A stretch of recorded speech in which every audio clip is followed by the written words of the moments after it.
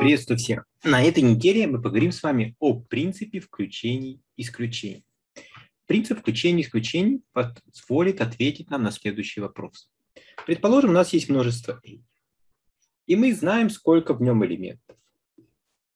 N. У нас есть множество B, и мы знаем, сколько в нем элементов. M. Встает интересный вопрос, а сколько же элементов в множестве A объединение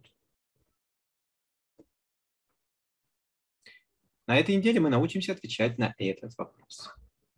Обратите внимание, если множество A и множество B не содержат общих элементов, то есть они не совместны, то ответ на вопрос очень простой. Количество элементов в множестве A объединения B равняется количеству множеств, элементов в множестве A плюс количество элементов в множестве. Это в случае, когда оба множества не совместны, когда они не содержат общих элементов.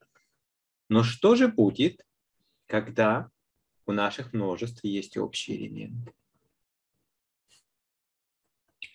Мы с вами увидим. Будет верна следующая формула. Количество элементов во множестве A объединения B равняется количество элементов множества A. Вот они, я их закрашу зеленым цветом. Плюс количество элементов множества B. Я их закрашу оранжевым цветом. Обратите внимание, что произошло. Элементы, которые принадлежат обоим множествам, мы их учли два раза. Один раз как часть множества A, и один раз как часть множества B. И это испортило наш подсчет. Мы хотели посчитать, сколько тут элементов, а некоторые элементы мы прочитали два раза. Так вот, те элементы, которые мы посчитали два раза, один раз надо вычесть. Минус количество элементов в множестве A пересечения с B. Это так называемая формула включений-исключений для двух множеств. Обратите внимание, когда множество A и B не совместны, пересечение – это пустое множество, и третье вот это вот вычитаемое, оно исчезает.